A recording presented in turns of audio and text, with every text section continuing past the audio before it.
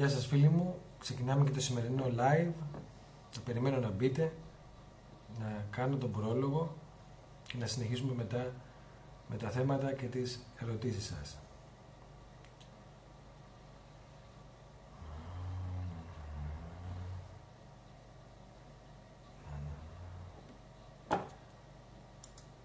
Μόλις μπουν οι φίλοι μας θα ξεκινήσουμε.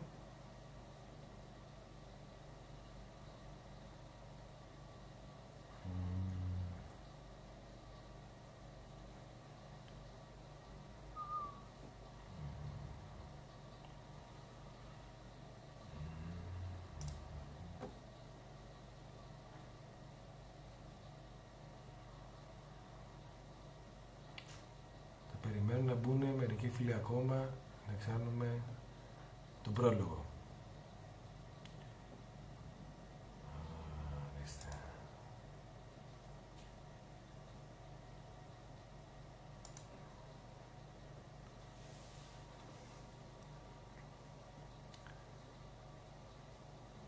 Λοιπόν, σήμερα Τρίτη, 31 του μηνός Ιανουαρίου 2017.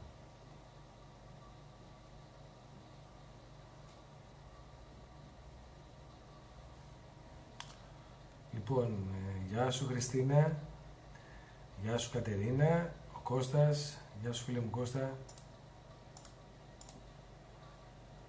Τι θέμα θα έχουμε, λέει Χριστίνα. Χριστίνα, ό,τι θέμα θέλετε εσείς, θα το φτιάξετε ή θα κάνετε τις ανάλογες ερωτήσεις. Εγώ απλά θα κάνω ένα πρόλογο στην αρχή όπως συνηθίζω και μετά είμαι στη διάθεσή σας. Λοιπόν, ε, ας ξεκινήσουμε με τον πρόλογο. Θα ήθελα να σας πω ότι από ένα σημείο και μετά μόλις κάνουμε έναν διαλογισμό και βγαίνουμε πάνω από την σε εισαγωγικά ανθρώπινη συνείδηση έτσι όπως την ξέρουμε φτάνουμε σε μια κατάσταση επίγνωσης και καταλαβαίνουμε ότι το ίδιο το σύμπαν, τα λέγαμε, είναι χωρίς αιτία και φυσικά χωρίς νόημα. Ο άνθρωπος όμως, επειδή κατέχει το νου, ζούμε μέσα στο νου και μας χρειάζονται μερικές ανάλογες πεπιθήσεις για να μπορούμε να διευκολύνουμε την ανθρώπινη μας εξέλιξη, αναβάθμιση, θα λέγαμε ότι χρειαζόμαστε μια αιτία ώστε το περιβάλλον μας, το σύμπαν, να μπορεί να μας βγάζει κάποιο νόημα. Και μέσα από μερικές πεπιθήσεις να έχουμε στο μυαλό μας τη συγκεκριμένη θα λέγαμε εμπειρία ώστε να μπορεί να μας δώσει ένα ανάλογο ερέθισμα για να μπορούμε να επιλέγουμε ανάλογες εμπειρίες τις οποίες θα μας αντιπροσωπεύουν περισσότερο.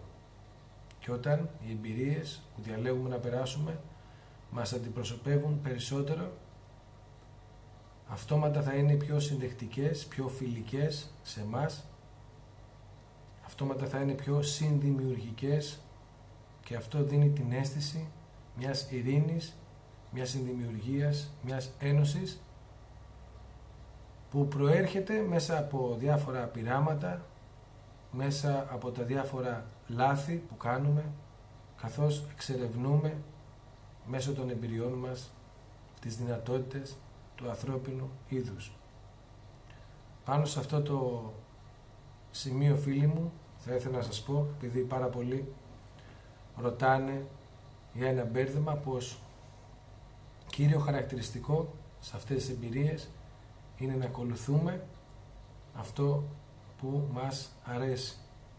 Ένα άτομο από τη στιγμή που έχει ορισμένες πεπιθήσεις, ακολουθάει τον ενθουσιασμό του, ακολουθάει μερικές πεπιθήσεις που ποτέ ότι είναι θετικές προς αυτόν, όμως πολλές φορές τον κάνουν λόγω άγνοιας να επιλέγει την αρνητική ενέργεια της διάσπασης, της αποκοπής, του διαχωρισμού από το όλον. Αυτό έχει σαν συνέπεια, αν δεν παρατηρεί, αν δεν μαθαίνει από τα λάθη του, συνεχίζοντας τις ίδιες επιλογές να έρθει σε ένα σημείο όπου η αρνητική ενέργεια θα δώσει τις συνέπειές της. Και τι εννοούμε με αυτό, ότι θα έρθει σε ένα σημείο να αρχίζει να κολλάει θα λέγαμε σε ένα έλος της μη επιλογής, σε ένα έλος της μηχανικής θα λέγαμε συνειδητότητας, σε ένα έλος της έλλειψης επιλογής της πραγματικότητας της οποίας τον εκφράζει περισσότερο. Αυτό φίλοι μου στην πραγματικότητα είναι ένα είδος κόλασης, ένα είδος ασυνειδησίας, ένα είδος μηχανικότητας που πολλές φορές ο ίδιος ο άνθρωπος που μέσα μπαίνει εκεί δεν συνειδητοποιεί, δεν γνωρίζει ότι αυτό που περνάει είναι ένα είδος κόλασης. Αυτομάτως μπορούμε να καταλάβουμε ότι διάφοροι εθισμοί παγιδεύουν την ψυχή μας υπό την έννοια ότι δεν δίνουν σε, αυτή την, σε αυτό τον εαυτό που έχουμε φτιάξει, τον ξεχωριστό, σε αυτή την ελεύθερη βούληση που μπορούμε να έχουμε σαν αυτοσυνείδητα όντα, την επιλογή να διαλέξουμε αυτή την πραγματικότητα που μας αντιπροσωπεύει παραπάνω και το χειρότερο είναι ότι ξεχνάμε βεβαίως ότι έχουμε αυτή την επιλογή.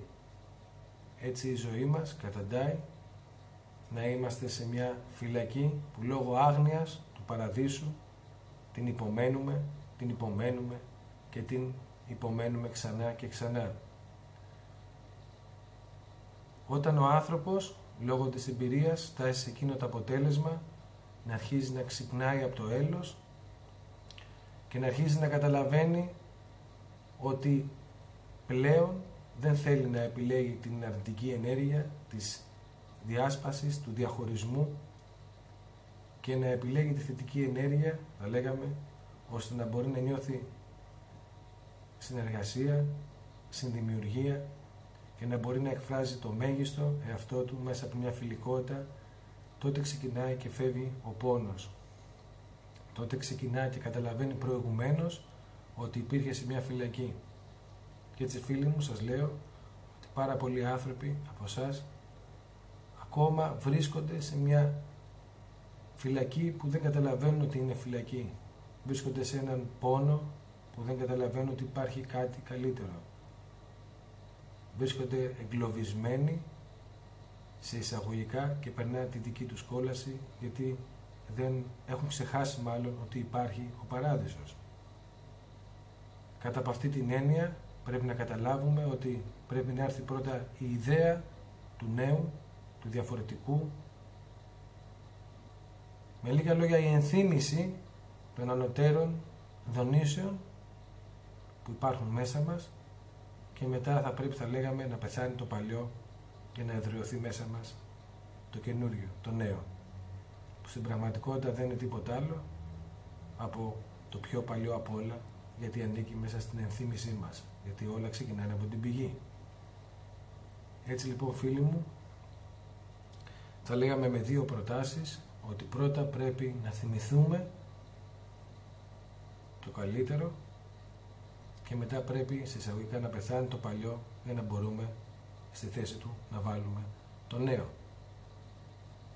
Γι' αυτό λοιπόν η πεποίθηση ότι ζούμε για να εκφράζουμε πάντοτε τον καλύτερο εαυτό μας και με αυτή την πεποίθηση ότι ερχόμαστε στη ζωή για να μπορούμε να μάθουμε να επιλέγουμε καλύτερα τις πιο αντιπροσωπευτικές μας πραγματικότητες θα μας βοηθήσει να δώσουμε ένα νόημα στα λάθη μας, ένα νόημα στη ζωή μας, ένα νόημα στον πόνο, ένα νόημα στην ίδια τη φυλακή για να μάθουμε πώς να δραπετεύουμε.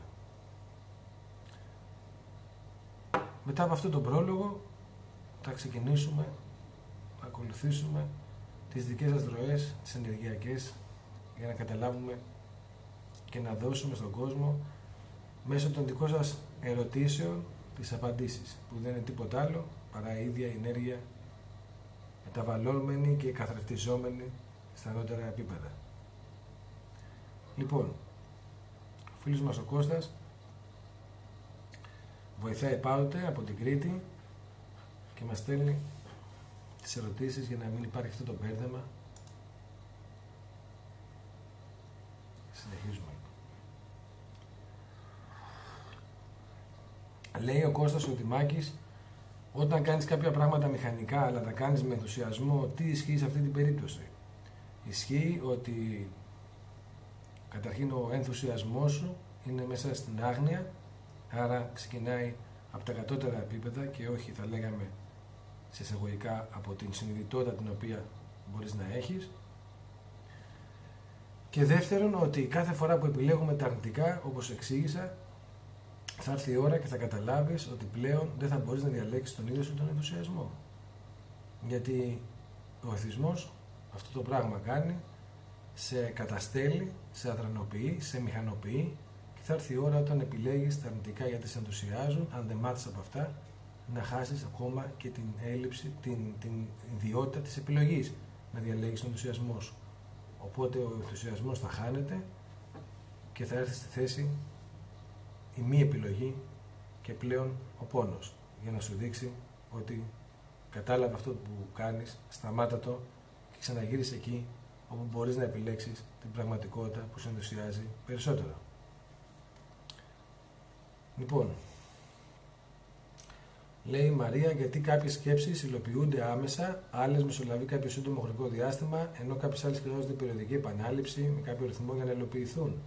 Πώς καθορίζεται αυτό, ποιο είναι το κριτήριο; Είναι φυσικό ότι οτιδήποτε δεν εμείς μέσα μας, σαν επιθυμία, δεν το έχουμε φτάσει στον δημιουργικό εαυτό μας και να ξεκινάει από την αιτία και να μπορέσουμε να συνδέσουμε μέσα σε ένα κανάλι συνειδητότητας όλα τα επίπεδα συνείδησης που έχουμε μέσα μας, είναι φυσικό ότι σε κάθε επίπεδο δοκιμάζονται διαφορετικά οι ιδιότητες που έχουμε για να κρυσταλλωθεί ένα γεγονός το οποίο έχουμε ζητήσει. Αν λοιπόν φίλοι μου δουλεύουμε στο κατώτερο επίπεδο μέσω του ρυθμού, θα πρέπει να το κάνουμε μέσω του ρυθμού για να στερεώσουμε ένα συγκεκριμένο ρυθμό. Όσο πιο ψηλά ανεβαίνουμε, καταλαβαίνετε ότι όταν λειτουργεί ο μαγικός εαυτός μας, όταν λειτουργεί ο εσωτερικός εαυτός μας, όταν λειτουργεί ο εαυτός μας σε συνεννόηση με τον υλικό εαυτό μας, τότε είναι τις περισσότερες φορές πιο εύκολο. Θα μπορούσα να σου πω Μαρία ότι τις περισσότερες φορές τις οποίες αυτό που θες υλοποιείται δεν είναι επειδή το θες εσύ, αλλά επειδή, αλλά επειδή εσύ με τον ανώτερο εαυτό σου ταυτίζεσαι ομοιοκραταστικά σαν να έχετε την ίδια επιλογή. Οπότε εκείνη την ώρα είσαι Θεός. Οπότε εκείνη την ώρα μπορείς να έχεις ακαριέα κρυστάλλωση. Τις περισσότερες φορές μέχρι να πείσεις τον εαυτό σου τον ίδιο, το κατώτερο θα λέγαμε, για να μπορέσει να αφαιθεί στο κανάλι και να δημιουργήσει τις ανάλογες επιθύσεις μέσα ώστε να είναι αρμονικές με την ψυχική σου, θα λέγαμε, αναβάθμιση και τη θέληση του ανώτερου κομματιού σου, καταλαβαίνεις ότι χρειάζεται να κάνεις όλα αυτά τα πράγματα τα οποία χρειάζονται παραπάνω διάστημα χρονικό όπως λες. Γιατί στην πραγματικότητα ο χρόνος είναι υποκειμενικός, οπότε καταλαβαίνεις ότι αυτό σου δίνει μια δυνατότητα μέσα από αυτά που περνάς να ομοιοκραδαστείς με την επιθυμία ανώτερου και εξώτερου κομματιού σου ώστε να φέρεις το επιθυμητό αποτέλεσμα. Άρα είπαμε πως καθορίζεται αυτό και το κριτήριο λοιπόν είναι κάτι που το θες πραγματικά από μέσα σου λοιπόν θα γίνει έτσι πολύ πιο εύκολα από κάτι που θες περιοδικά ή κάτι που θέλουν μερικά κομμάτια σου μέχρι να φτάσει σε μια κατάσταση να μπορεί να εκδηλωθεί. Τις περισσότερες φορές όσο εσύ αφήνεις να σε επηρεάζουν πολλά άτομα θα πρέπει να λειτουργήσεις σε, σε μια συλλογική πραγματικότητα συμφωνιών οπότε είναι πιο δύσκολο να το φέρεις εις πέρας. Γι' αυτό τις περισσότερες φορές λέμε ότι η εσωτερική εργασία είναι πολύ πιο γρήγορη από την εξωτερική εργασία, γιατί δουλεύει σε ανώτερα επίπεδα με λιγότερες συμφωνίες, με λιγότερους νόμους. Λοιπόν, λέει η Χριστίνα, η εντροπία πώς συσχετίζεται με όσα αναφέρεις και πώς μπορεί κάποιος να τη μεταβάλει. Η εντροπία είναι η τροπή προς το εν. Ότι κάτι διαλύεται καταλήγει στο ένα. Όταν κάτι διαλύεται καταλήγει πάλι στην πηγή. Πολλές φορές εμείς, γιατί όταν θέλουμε να κρατήσουμε τον εαυτό μας, να κρατήσουμε την ψυχή μας, να κρατήσουμε τη συνειδητότητά μας, να κρατήσουμε τον εαυτό μας και να μην χαθούμε μέσα στο εν, θα λέγαμε, αλλά να διατηρήσουμε μια αυτοσυνείδηση και μια οντότητα, είναι φυσικό ότι μπορούμε να επιλέξουμε ορισμένα πράγματα πέρα της ανακύκλωσης. Είναι φυσικό ότι η ίδια η γη, επειδή μας θεωρεί κομμάτια της και συσσαγωγικά δεν δέχεται την αυτοσυνείδηση, συσσαγωγικά, το λέω αλληγορικά, πολλές φορές υπάρχουν πάρα πολλές εντροπικές ενέργειες για το φυσικό, το γήινο, το σώμα μας και την προσωπικότητα που είναι ταυτισμένη και συνδεδεμένη με τη γη, ώστε αυτές οι ενέργειες να εντροπιάζουν, να πηγαίνουν δηλαδή προς το κέντρο και ξανά μετά από εκεί πέρα να ξαναβγαίνουν στην επιφάνεια, δίνοντας τον άνθρωπο, θα λέγαμε, αυτή την ελεύθερη βούληση να κάνει τις διάφορες σαρκώσεις. Αυτό λοιπόν σημαίνει η εντροπία και κάθε φορά που ένας άνθρωπος εντρέπεται, εντρέπεται, η ντροπή σου που λέμε καμιά φορά, μέσα μου το έχω συνδέσει με την εντροπία ώστε να σημαίνει ότι πολλές φορές ορισμένα πράγματα που κάνουμε είναι εντροπικά. Μας ρίχνουν, θα λέγαμε, στο εν, θα μας ρίχνουν στο ένα και χάνουμε την κυριότητά μας. Τα πάντα καταλήγουν στο ένα και από εκεί πέρα ξαναβγαίνουν. Από αυτή την έννοια, κάποιος λοιπόν που θέλει, αφού έχουμε γεννηθεί όλα από τη γη, να ξανααπορροφηθεί από τη γη και να μην κρατάει, θα λέγαμε, μία ζωή σαν αυτόνομο καταλαβαίνετε ότι πρέπει να κοντράρουμε σε εισαγωγικά όσο μπορούμε την εντροπία της επανάληψης του φυσικού σώματος από αυτό που λέμε θάνατος, ζωή, ανακύκλωση.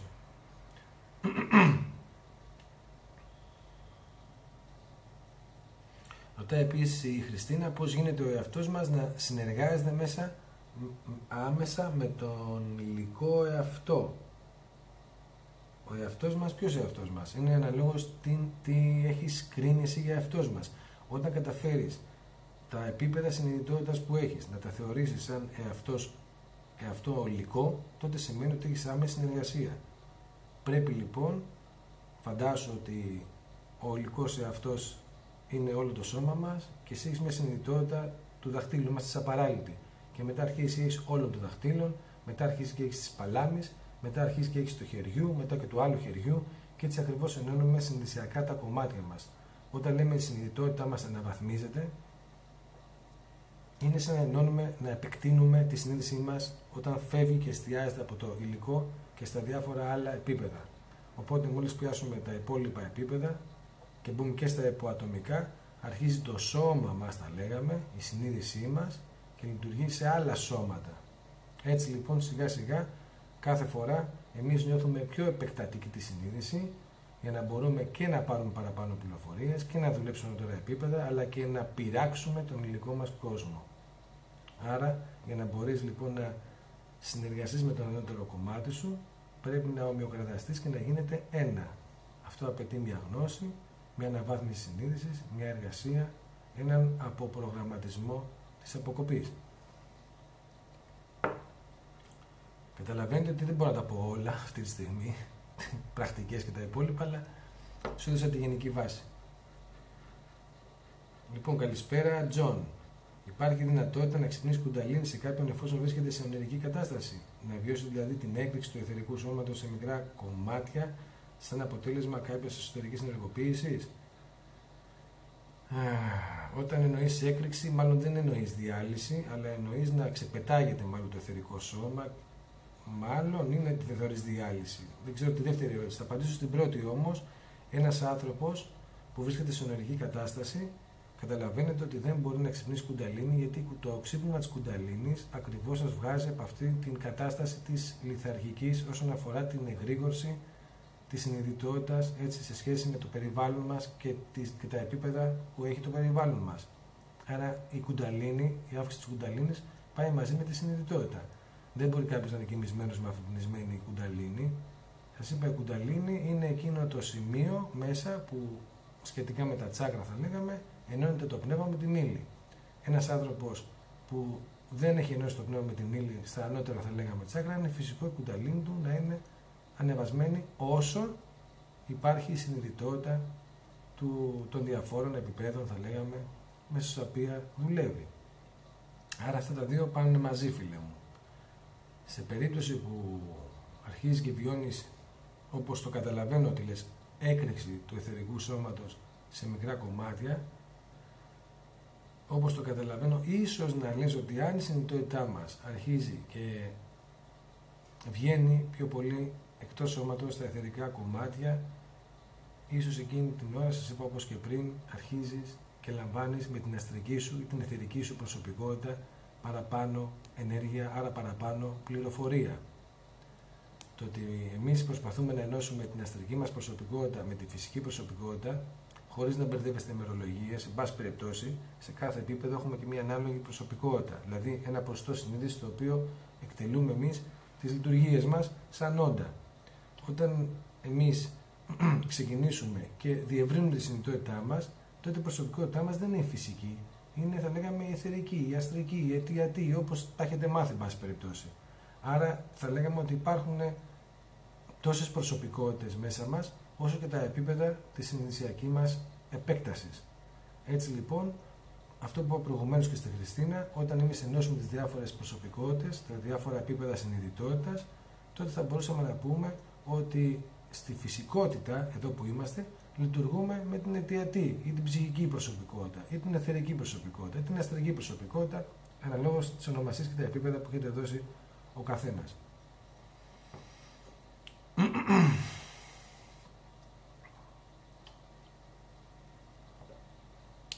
Λέει ο Κώστας. Για ποιο λόγο πιστεύεις ο κόσμος φθονεί και ζηλεύει σε μεγάλο ποσοστό στις μέρες μας. Κοίταξε Κώστα, δεν ξέρω αν είναι σε μεγαλύτερο ποσοστό στις μέρες μας ή στις υπόλοιπες. νομίζω ότι είναι σε μικρότερο στις μέρες μας, γιατί δίνεται σιγά σιγά η δύναμη στον άνθρωπο να μπορεί να νιώσει ικανός να φτιάξει τη δική του πραγματικότητα.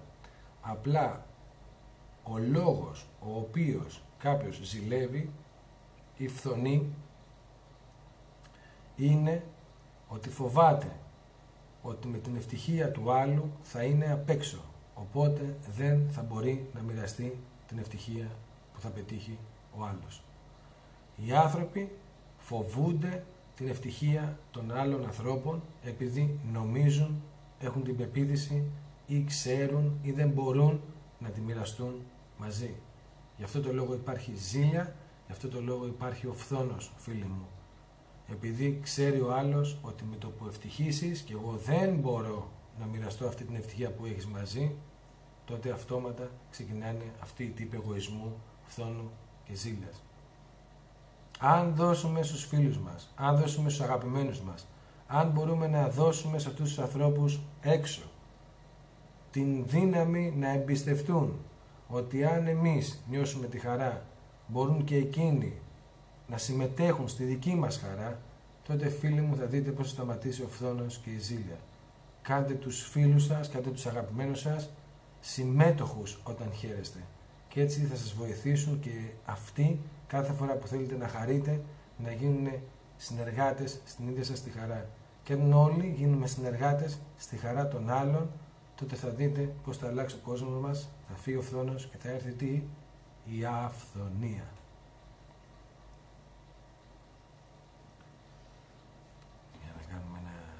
αυθονία.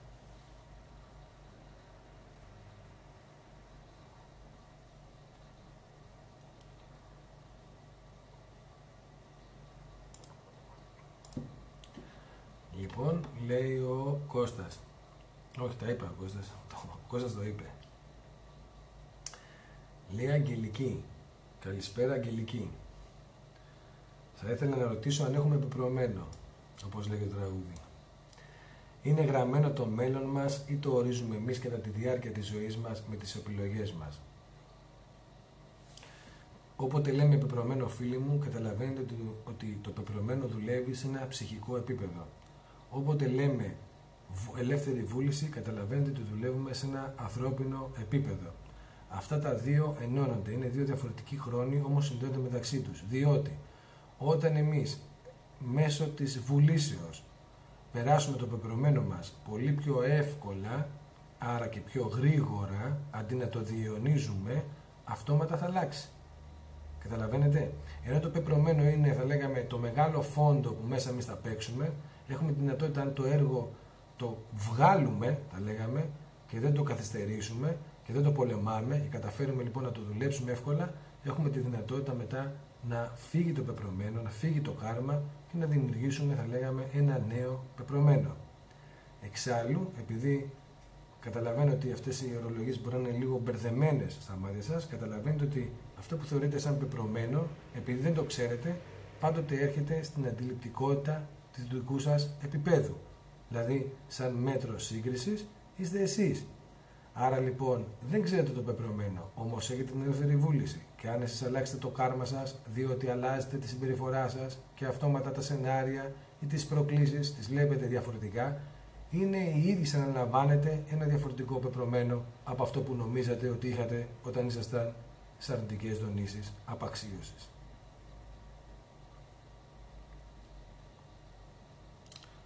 Τις περισσότερες φορές χρειάζεται να δείτε το βιντεάκι λίγο πιο αργά, σας λέω, και ξανά και πολλές φορές αργά, σταθερά, για να μπορείτε να εμπεδώσετε αυτά τα πράγματα τα οποία σας λέω. Λοιπόν, ε, όλοι έχουμε γραμμένο. Λοιπόν, λέει ο Κώστας, στα μάτια μου έχεις πει παλιότερα ότι μόνο αυτός που πρέπει να ζει, που μπορεί να ζει, που μπορεί να ζει, αυτός που μπορεί να ζει. Λοιπόν, στα μάτια μου έχεις πει παλιότερα ότι αυτός που πρέπει να ζει, πρέπει να πεθάνει. Μπορείς να μας το εξηγήσεις; Λοιπόν, αυτό που είχα πει παλιότερα φίλε Κώστα ήταν ότι μόνο, ότι μόνο αυτός που μπορεί να ζει ξέρει ότι μπορεί να πεθάνει. Αυτό είχα πει στην πραγματικότητα. Δεν το έχεις γράψει καλά. Θέλω να πω ότι κάποιος μπορεί να πεθάνει μόνο όταν ξέρει ότι ζει. Αυτό τι θέλω να πω. Ήθελα να πω ότι κάθε φορά που εμείς έχουμε τη συνείδηση και ζούμε ζωντανά τη ζωή μας, καταλαβαίνουμε τι σημαίνει κάποιος όταν θα λέγαμε δεν μπορεί να ζει τη ζωή του. Καταλαβαίνουμε ποιος είναι αυτός ο πεθαμένος. Δεν χρειάζεται κάποιος για να είναι ζωντανός να λέγαμε, όπως το λέμε εμείς, απλά να λειτουργεί το βιολογικό του σώμα. Ο άνθρωπος, θα λέγαμε, ζει με κάποιες συγκεκριμένες τροφές.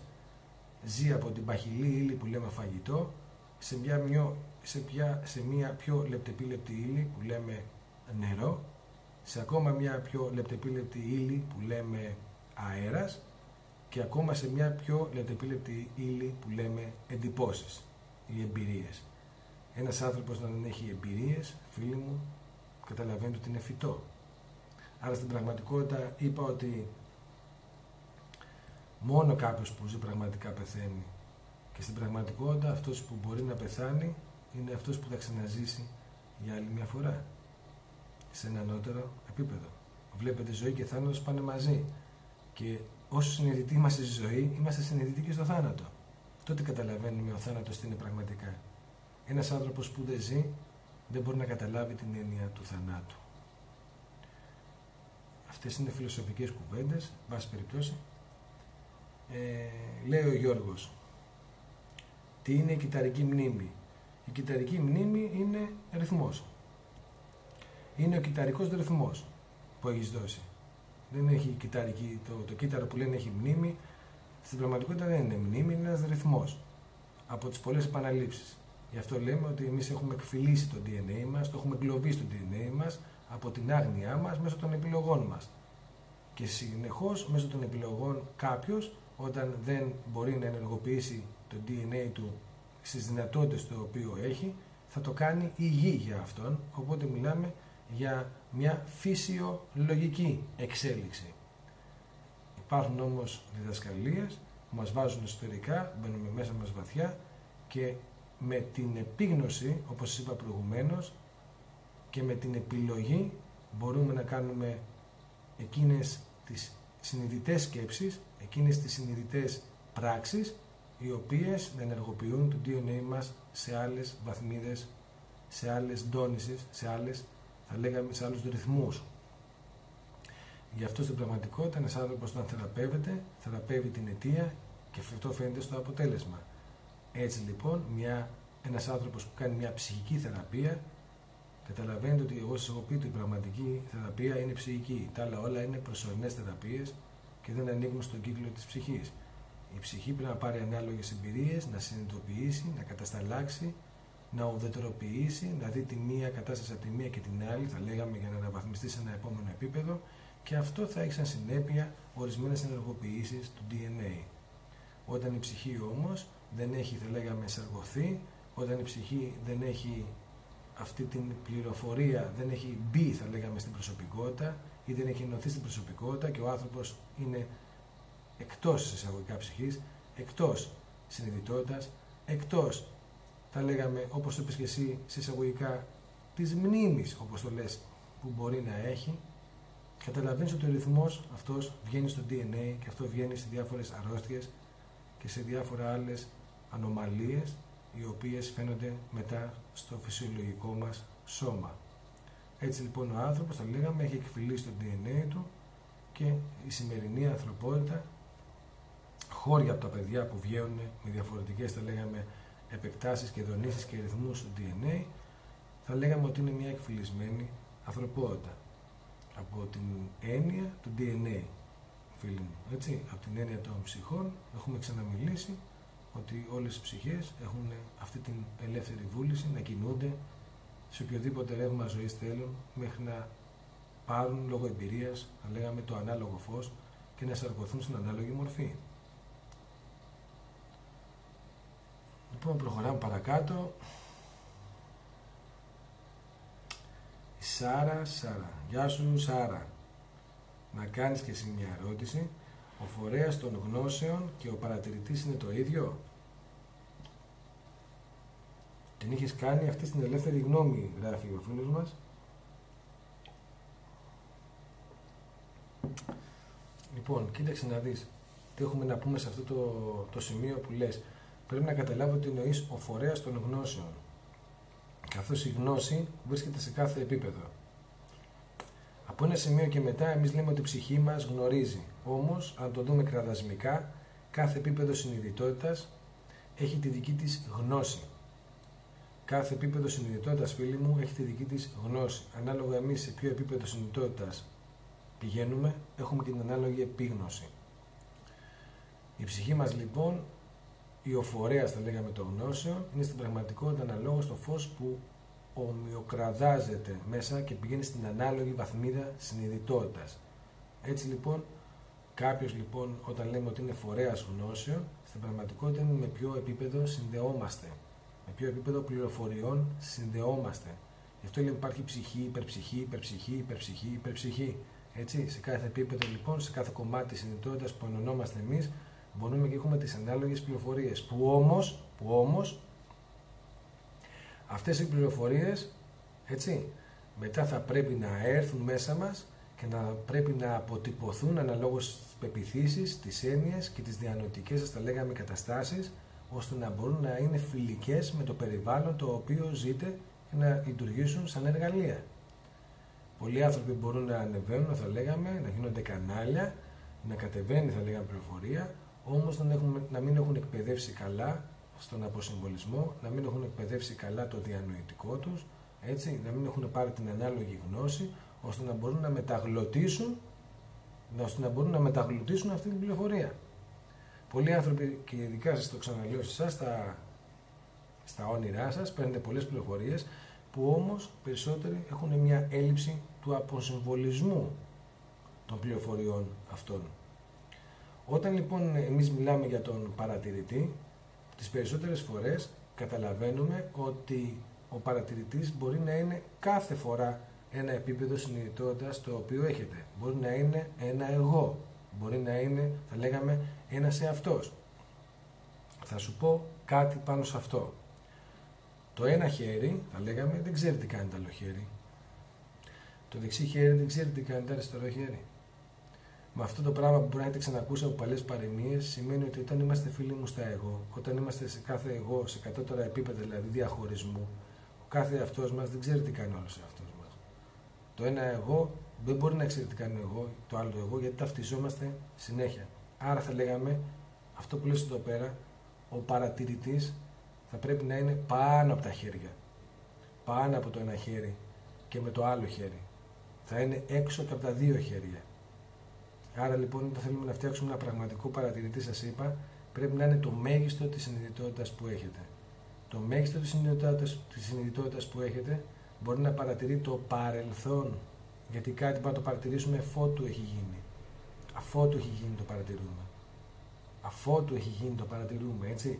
Άρα λοιπόν θα λέγαμε εκείνο το επίπεδο το ψηλό του παρατηρητή το οποίο έχετε μέσα σας να ξέρετε λοιπόν ότι μπορεί να παρατηρήσει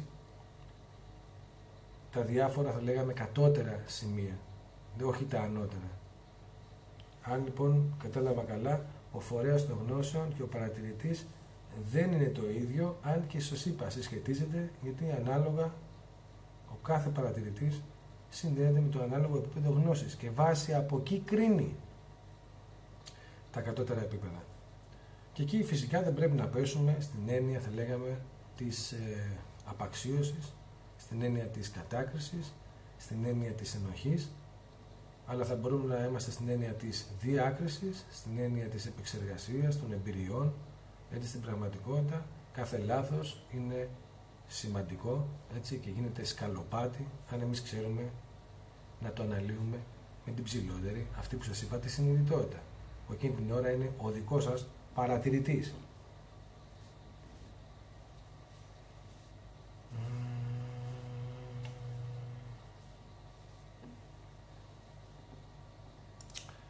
Ε, τώρα θυμήθηκα ένα άλλο κομμάτι να σας πω και μετά συνεχίζουμε με τις ερωτήσεις. Θα ήθελα να σας ε, αναλύσω λίγο την ε, παραβολή, την ιστορία σχετικά με εκείνη την πόρνη που έσωσε ο Ιησούς από λιθοβολισμό. Μου ήρθε στο μυαλό γιατί τώρα που νοήσα, που μίλησα για τα διάφορα εγώ, τις διάφορες έτσι, σκέψεις τις οποίες κάναμε, θα ήθελα λοιπόν να σας δώσω αυτή την παραβολή, αυτή την ιστορία θα λέγαμε, να ξεκινήσουμε να την πάρουμε μέσα μας, όπως σας έχω πει, για να τη βρούμε αντανακλαστικά σε ορισμένα επίπεδα μέσα στον εαυτό μας όπως πρέπει να κάνουμε με όλους τους μύθους, με όλες τις αλληγορίες, με όλα τα πράγματα για να δούμε πώς για μας μπορούν να γίνουν πρακτικά στο δικό μας κόσμο.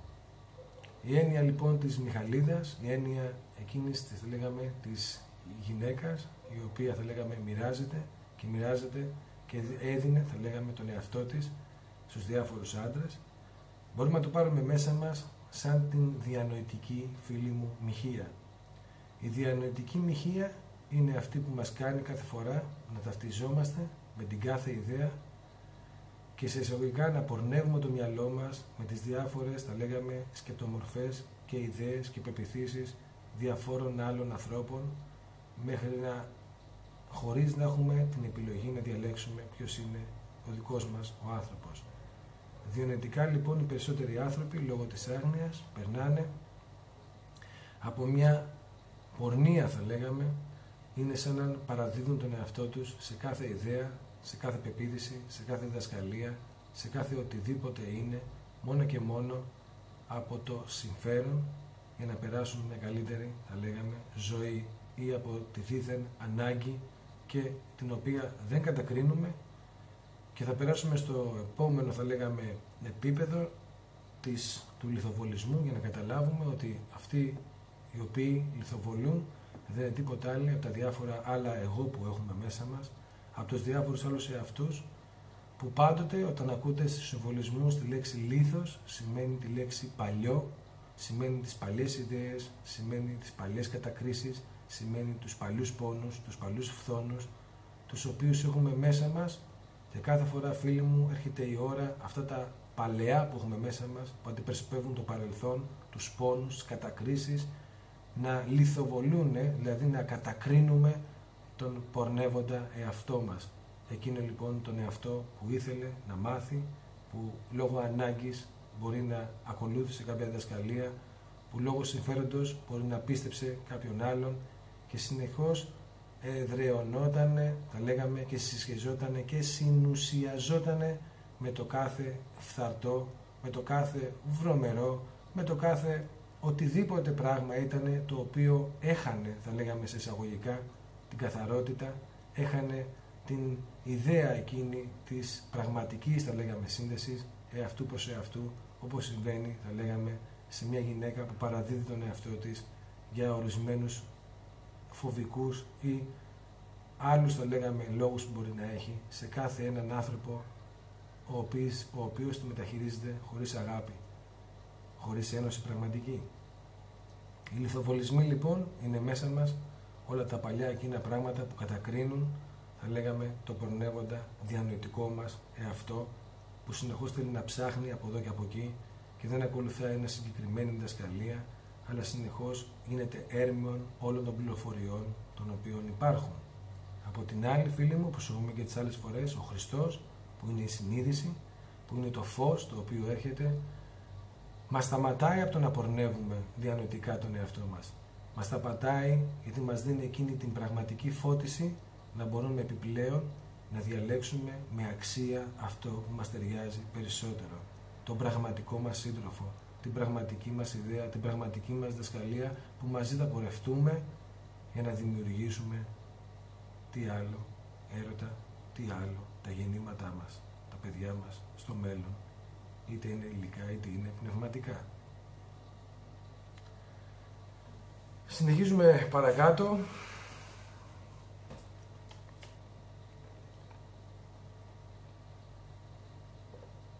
Λέει η Αγγελική, στα μάτια τους ανθρώπους που γνωρίζουμε για πρώτη φορά είναι τυχαίο ή έχουμε κάνει συμβόλαιο σε μια άλλη ζωή ότι θα συναντηθούμε και θα ζήσουμε αυτή τη συγκεκριμένη στιγμή.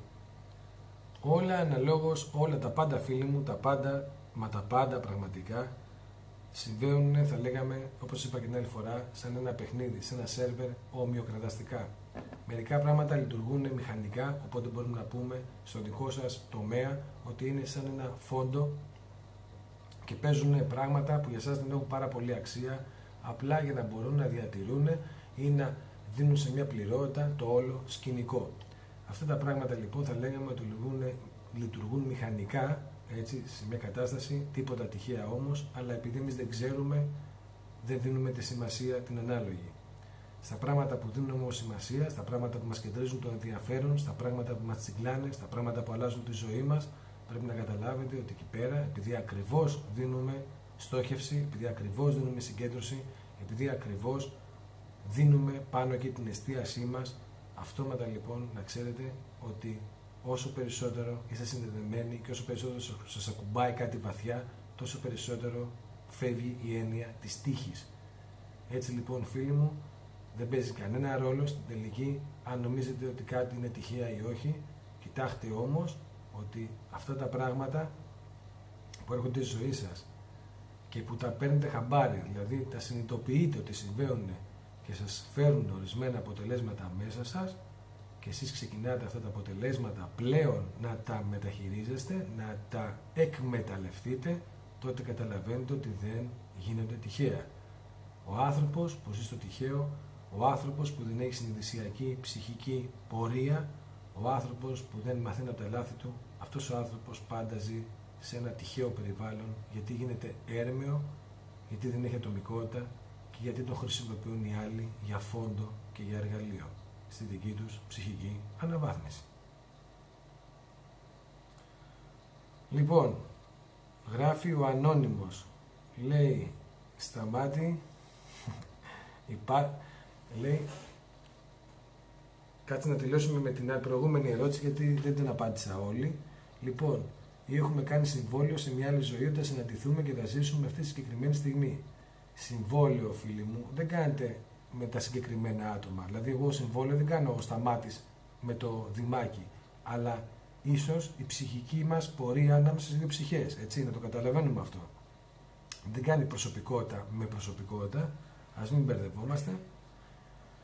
Άρα λοιπόν το συμβόλαιο καταλαβαίνεις ότι σε μια άλλη ζωή, αναλόγως στην ενέργεια που έχεις, έτσι παρόλα αυτά, σε μια καινούργια ζωή, αν δεν έχεις κλείσει ένα κύκλο, και έτσι θα σας το εξηγήσω τώρα τι σημαίνει αυτό, όταν δύο πράγματα βγαίνουν μέσα από την ίδια μήτρα αναπόφευκτα θα έρθουν ξανά μαζί και θα έλκονται για να έρθουν ξανά μαζί. Θα έχουν συγκεκριμένο μαγνητισμό.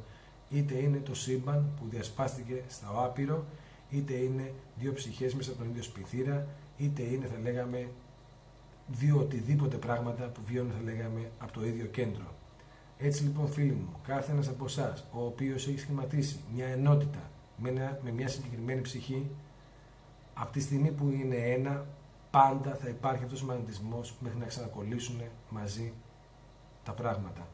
Έτσι λοιπόν καταλαβαίνουμε για ποιο λόγο υπάρχει όλο αυτό το πράγμα που ξανασυναντάμε συνεχώς και συνεχώς και συνεχώς στην άνοδό μας, όχι στην διάσπαση, αλλά όταν μαζεύεται προς τα πίσω θα λέγαμε έτσι η συνειδητότητά μας και η επέκτασή μας σαν ψυχική πορεία, όλες πάλι εκείνες τις ψυχές, όλες πάλι εκείνες λοιπόν τα παρακλάδια, όλα εκείνα τα, τις διασπάσεις θα λέγαμε της συλλογικής θα λέγαμε ψυχής μας, των οικογενειακών ψυχών μας, πώς ξαναμαζεύονται, πώς ξανασυναντιόμαστε σιγά σιγά, σαν να γυρίζουμε έναν δρόμο προς τα πίσω και σε κάθε σταυροδρόμι να έρχεται κι άλλος ένας φίλος μας που είχε αποκοπεί λόγω του σταυροδρομιού και είχε πάρει μια άλλη κατεύθυνση.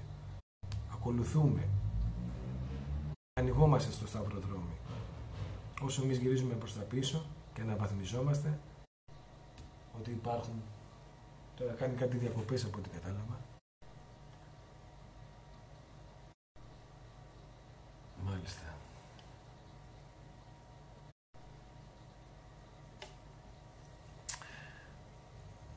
Λοιπόν, επειδή φίλοι μου τώρα ξεκινήσανε κάνει κάτι διακοπή. Θα συνεχίσουμε την επόμενη φορά. Την Κυριακή θα κάνουμε σεμινάρια. Μαζευόμαστε κάθε Κυριακή εδώ στην Νίκαια με διαφορετικά θέματα. Επειδή ξεκινάνε και γίνονται μερικές διακοπές στο ίντερνετ,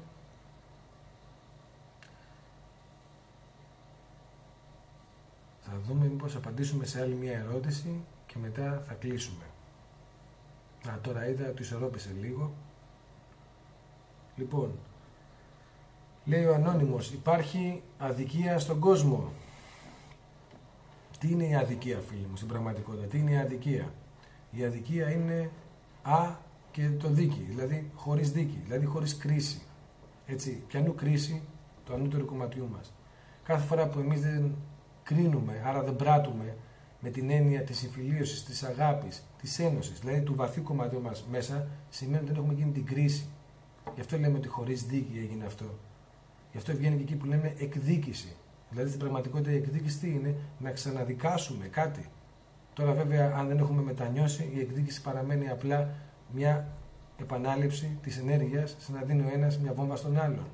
Αλλά στην πραγματικότητα η δίκη πάντοτε το να δικάσουμε κάτι μέσα μας, το να κρίνουμε κάτι μέσα μας σημαίνει ότι έχουμε επεξεργαστεί αυτό το πέρα το πράγμα και πώς το έχουμε επεξεργαστεί με ό,τι βαθύτερο μέσα μας υπάρχει. Αυτό θα, μας δώσει το, αυτό θα μας δώσει το καινούριο, το διαφορετικό, αυτό θα μας βγάλει από το πρόβλημα, το να το σκεφτούμε με το ανώτερο κομμάτι μας, με το πιο εσωτερικό κομμάτι μας. Εκεί πέρα που καταλαβαίνουμε το λόγο, την αιτία, για τη δική μας ισορροπία και την κρυστάλλωση της πραγματικότητας την οποία μας αντιπροσωπεύει περισσότερο. Έτσι λοιπόν αδικία υπάρχει λοιπόν για έναν άνθρωπο που δεν ξέρει να δικάσει σωστά. Ένα κάποιος που ξέρει να δικάσει σωστά καταλαβαίνει ότι όλα έχουν αιτία, ξέρει την αιτία, βλέπει γιατί έγινε, κάνει την επεξεργασία του και καταλαβαίνει ότι τίποτα στην πραγματικότητα δεν ήταν αδικία παρά μόνο για εκείνη τη συνειδητότητα και ότι μετά θα πει α, υπήρχε δίκαια και δίκαια έγινε αυτό το πράγμα σε μένα που τότε νόμιζε ότι ήταν αδικία.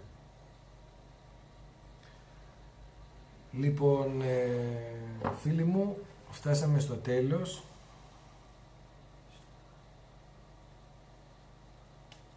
Ε, θα δω και στον Γιώργο τι μπορώ να πω. Το ανώτερο λέει συνέστημα και η ενόραση της αυθονίας. Δεν μπορώ να καταλάβω, φίλε Γιώργο, τι λες. Πάση περιπτώσει, το ανώτερο συνέστημα και η ενόραση της αυθονίας. Δεν καταλαβαίνω τι θες να ρωτήσεις, σε πάση περιπτώσει. Λοιπόν, ευχαριστώ πολύ φίλοι μου για την προσοχή σας. Είναι ωραίο να μοιράζεστε. Κάθε φορά που μοιραζόμαστε δημιουργούμε κοινή πραγματικότητα. Όταν όλοι μοιραζόμαστε, οι ψυχές παίρνουν μαθήματα από όλους. Αφαιθείτε, μπείτε και το 2017 φτιάξτε εκείνη την πραγματικότητα που θέλετε. Γιατί θα υπάρξουν πάρα πολλές αλλαγές Διαλέξτε ποιου θέλετε να έχετε κοντά σας. Διαλέξτε στην πραγματικότητα θέλετε να εδραιωθείτε. Διαλέξτε ποια άτομα θέλετε να είστε μαζί. Διαλέξτε, θα λέγαμε, το δικό σας, θα λέγαμε, δρόμο. Αφαιθείτε, να νιώσετε που στέλνετε την ενέργειά σας. Ε, και επειδή κλείνουμε, την Κυριακή σας είπα, κάθε Κυριακή, για αυτούς τους φίλους που είναι στην Αθήνα, κάνουμε ορισμένα σεμινάρια να έρθετε, να μάθετε, να μοιραστείτε και να φτιάξετε εκείνη την πραγματικότητα που σας αντιπροσωπεύει περισσότερο. Ευχαριστώ πολύ και πάλι για την προσοχή σας. Ειρήνη σε